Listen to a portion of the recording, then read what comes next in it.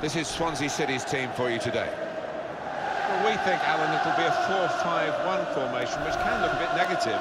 Yeah, but you look at the players in that five, that midfield five, and I think a couple at least will be trying to support the lone frontman.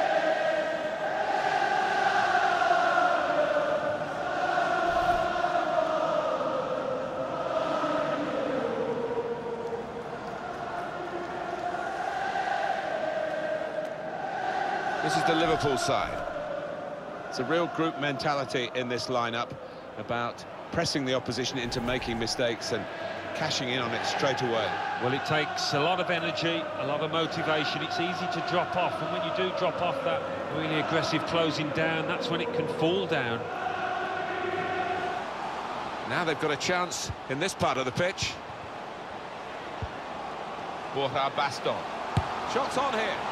It's a top effort, really, but it's just too high. Maybe next time, that kind of effort will be on target.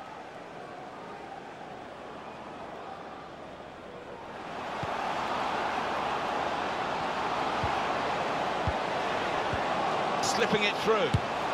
He really gave it the laces there, didn't he, Alan? Yeah, he did connect with it beautifully. Not a bad effort at all.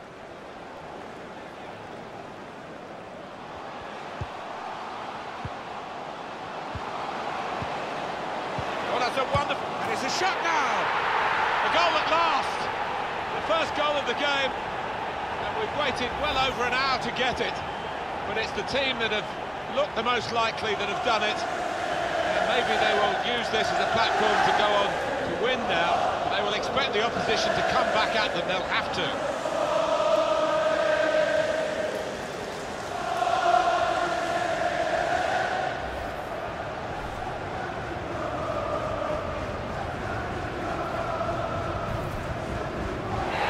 Referee has called a halt here, and it has finished in the end 1-0. Well, they've come here, a chance to get into the semi-finals, but they've been knocked out, going out of the quarter-finals. It's a good run, but not good enough. Well, not quite. I think the better team won. They just couldn't quite produce some of their best football when it mattered.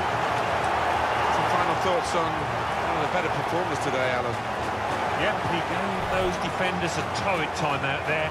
Got the goal, the all-important one, and then loads of chances.